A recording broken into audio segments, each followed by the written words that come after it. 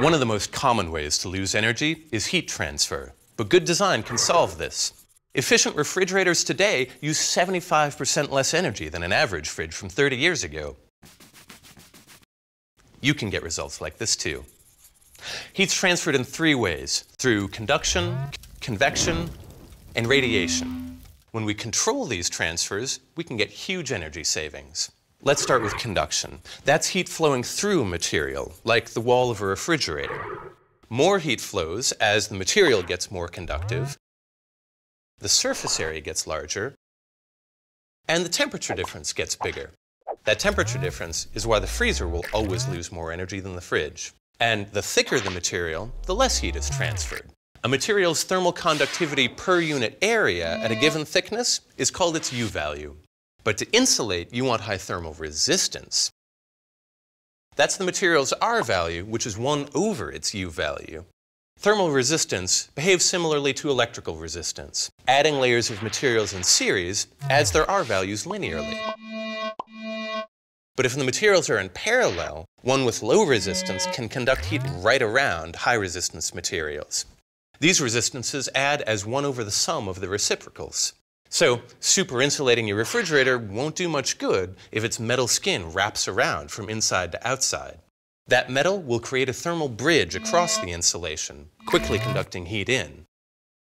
When heat is transferred by conduction, the material absorbs and stores some heat energy. It's called thermal inertia. Water has a much higher thermal inertia than air, so a fridge full of cold drinks will keep cool longer than an empty fridge if the power goes out. Convection is when heat is carried by a moving fluid like air or water. That's why you lose energy every time you open your fridge. But convection can also help your fridge use energy efficiently. It takes waste heat away, so the refrigerator can pump new heat from inside to outside. This is natural convection caused by the different densities of hot and cold fluids. You can also force convection with a fan, like in your computer.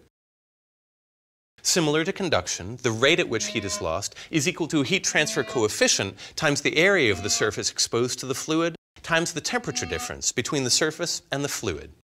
Heat sinks have fins to maximize that surface area. Finally, radiation is when heat travels as light. When you warm your hands beside a fire, you're using the electromagnetic radiation given off by the fire. If you look through an infrared camera, you'll see heat radiating off of people, buildings, cars, all sorts of things. You can control radiation heat transfer in three ways. First, some materials radiate heat more than others. We measure this as emissivity. Reflective surfaces have low emissivity, while dull black materials radiate more heat. So, a matte black coating on a metal heat sink can improve its radiative cooling. Then there's area.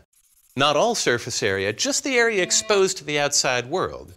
See, radiated heat that doesn't escape to the outside just gets reabsorbed. The third variable for radiation heat transfer is the temperature difference between the object and its surroundings. And temperature is raised to the fourth power. That's huge. That's why you can't warm yourself from a person's radiation, but you can from a fire's radiation.